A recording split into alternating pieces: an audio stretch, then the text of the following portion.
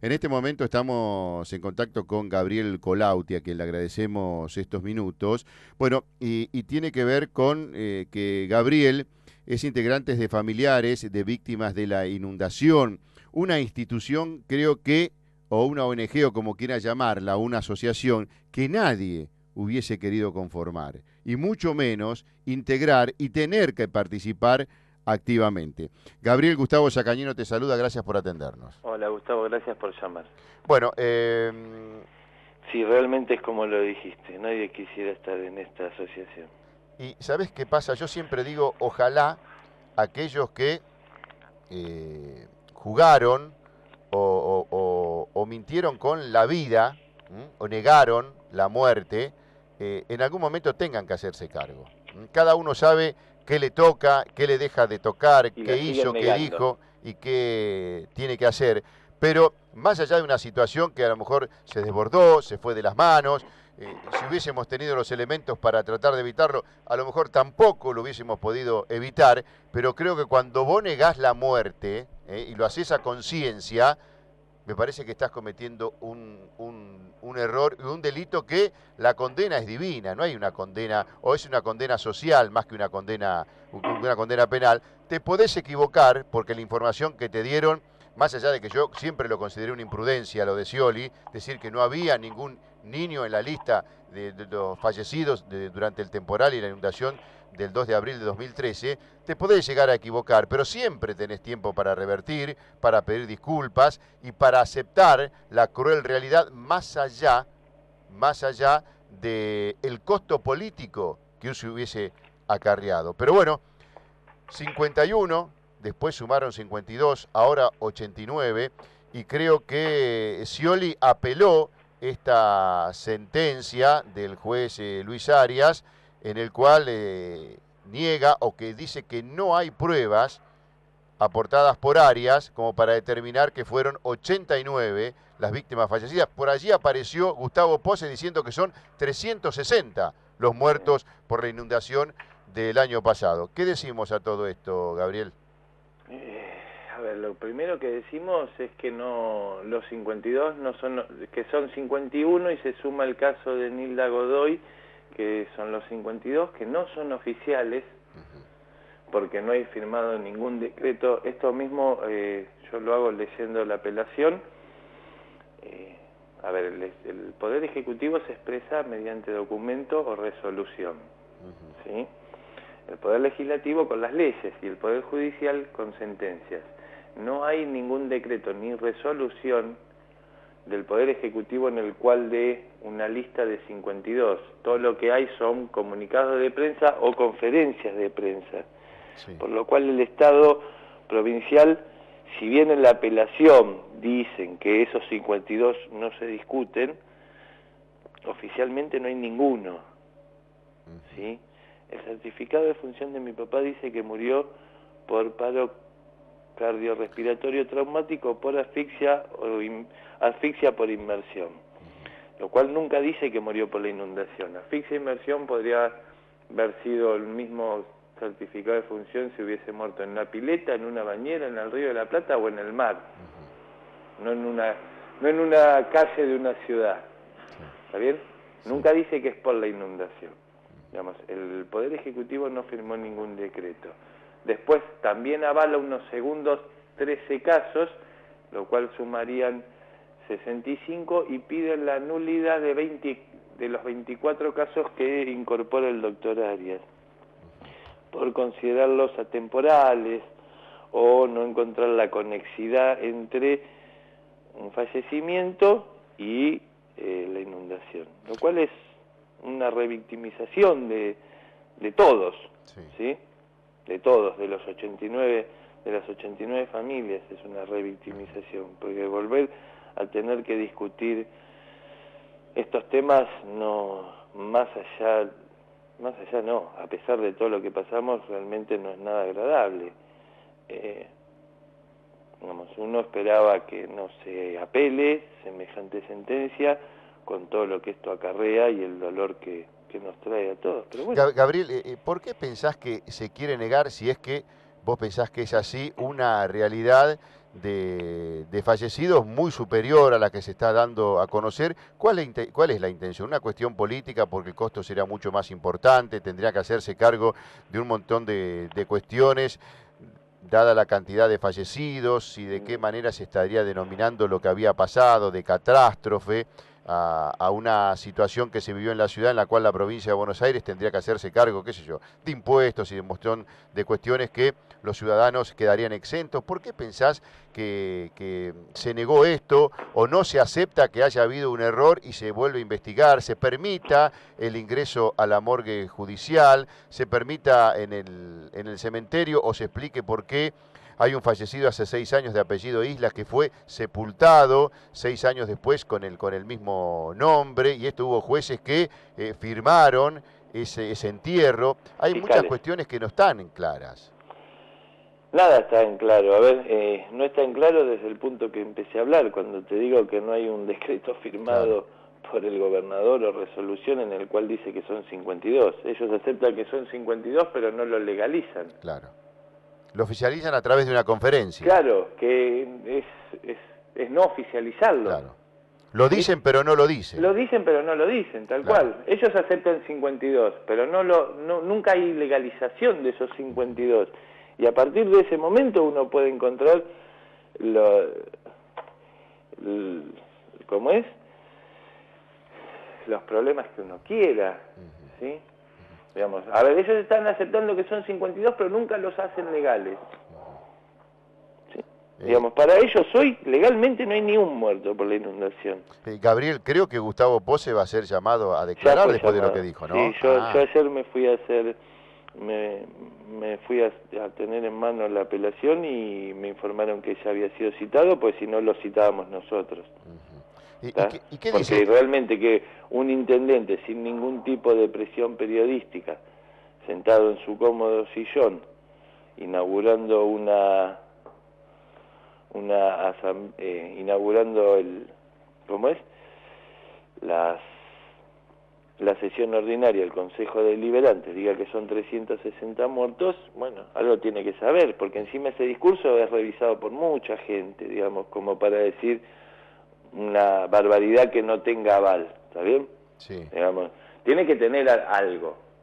Obviamente que lo tiene que tener porque si no dice, chicos, esto no se dice porque no, no tenemos sustento para, para decirlo. Gabriel, eh, se sabe que desgraciadamente muchos niños eh, perdieron la vida en la inundación. ¿Y qué responde el gobierno de la provincia de Buenos Aires cuando cerró tajantemente diciendo que no había más allá que no haya un decreto de por medio, chicos desaparecidos y sigue sosteniendo en 52 o 55, 56, 52 y no aparecen eh, chicos sabiendo que hay muchos testimonios de, padres, como también se agrega de dos chicos que estaban desaparecidos y también dicen que apareció el papá diciendo que no, que ya los encontraron, que estaban bien, y esta persona después niega decir que es el padre y desconocer a, eso, a esos chicos. Esto también lo, lo aporta el juez Arias. Sí, a ver, lamentablemente nosotros no pudimos probar eh, que hubiesen... Tenemos la certeza de que los hay, pero... ¿Y, por qué nadie acercó el testimonio, o los familiares, o desgraciadamente los padres? Vamos a ver, a ver, esto también es un estado de ánimo, ¿no? Digamos, hay que entender que hay distintos estados de ánimos y, y, si uno se siente deshilachado con la pérdida de un padre, imagínate... Sí, con un hijo cómo se puede sentir con la de un hijo. Pero a lo mejor después del paso del tiempo, haciéndole ver que puede, puede ayudar y dejar eh, que descansen en paz un montón de, personas, me parece que a lo mejor eh, en medio de un dolor terrible, de remover nuevamente todo lo que pasó, eh, a lo mejor esas personas estarían dispuestos a dar el testimonio, ¿no? Y quizás no sea el tiempo todavía. Ah, está bien. ¿Está bien? a ver, yo a un año sigo llorando a mi papá yo no me quiero imaginar el que perdió a su hijo en las condiciones en las que está. Digamos, y, uno está preparado para despedir a sus padres, no para despedir a un hijo.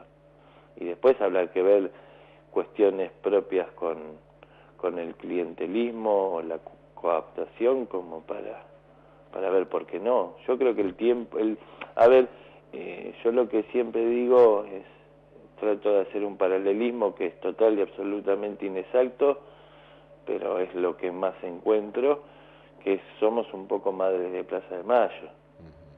O sea que te va a llevar muchísimo tiempo yo considero que sí, sí, yo estas verdades no, no están todas dichas sobre la mesa. Eh, Gabriel, ¿tuvieron la posibilidad de conversar con el gobernador Scioli, con algún integrante del gabinete sí, provincial? El 27 de agosto, que Scioli parecía que, voy a decir lo mismo que, que dije ese 27 de agosto cuando salí de esa reunión, es, es, Scioli es la nada misma, porque es la nada misma, y parecería que se hubiese enterado ese 27 de agosto que la Ciudad de La Plata se inundó el 2 de abril porque el discurso no, no era congruente con la situación que se estaba viviendo. Y Gabriel, ¿qué tenés que decir o qué imagen tenés de Paolini, Falvo y Condomía Alcorta, que son los condomía que están... A ver, son fiscales. Falvo es la procuradora, digamos, es la jefa de fiscales. Condomía Alcorta fue el primer fiscal durante los primeros 15 días, después le pasó la causa a Paolini. Son los encargados de investigar responsabilidades, que esto es otro tema eh, que es muy confuso en la apelación.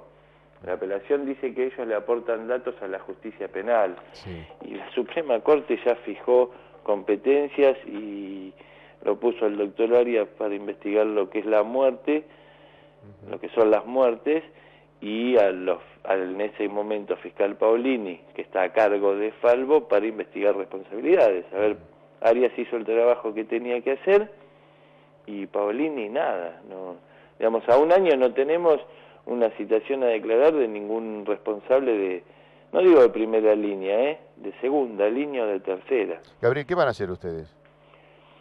Estamos evaluando con los abogados a ver cuál es la estrategia, si la estrategia es salir a la calle, si la estrategia es judicial, eh, cómo va a responder la Cámara de Apelaciones. Eh, está todo muy fresco, porque encima está muy fresco el 2 de abril también. Es toda una conjunción de sentimientos, digamos. Esto no es casual que después de una marcha multitudinaria se presente la apelación. Digamos, y el que piense que es casual eh, está equivocado. esperaron todo el, a ver cómo qué repercusión tenía la marcha, que fue multitudinaria, como para actuar bajo la sombra y una apelación, digamos. Imagínate que si la apelación la hubiesen hecho el lunes. El lunes, perdón, el martes 1 de abril. Sí. Eh, hay que ver cómo nos vamos a mover. Digamos, eh, lo que sí no se puede, eso, eso lo tenemos muy claro, que no se puede dilatar mucho lo que es la, la decisión de la Cámara de Apelaciones. La inteligencia de los sentimientos tienen que mostrarle el camino para enfrentar a la, a la justicia a través de la política que está en el medio. Tal cual, tal cual. Pero bueno, digamos, eh, tiene que predominar la mente fría por sobre los sentimientos. Sí, en un momento donde pedirle a la, mente que, esté fría es muy difícil. ¿eh? Claro, vos, vos, vos imaginate que yo el viernes me estaba enterando que apelaban y el mismo 4 de abril del año pasado estaba encontrando a mi papá en la morgue. Claro. Entonces, digamos, más allá de lo que pasó el 2 de abril, para mí el 4 era un día especial. También. ¿Por qué? Porque hacía un año yo encontraba a mi papá tirado en el piso de la morgue. Sí. Y era la primera vez que yo entraba a una morgue y tenía que reconocer a mi viejo, digamos. Era un día, el 2 de abril era un día especial, pero para mí, en mi caso personal, era personal, era más complicado el día 4. Sí, sí, el día traumático, el día que hizo un clic en tu vida era el 4 de abril. Claro, digamos, más allá de la inundación del 2 y el 3. Yo encuentro a mi papá en la morgue el 4. Y es ahí donde tengo la certeza de que mi viejo falleció en la inundación. Entonces, salir a, a ver qué es lo que está sucediendo o no eh,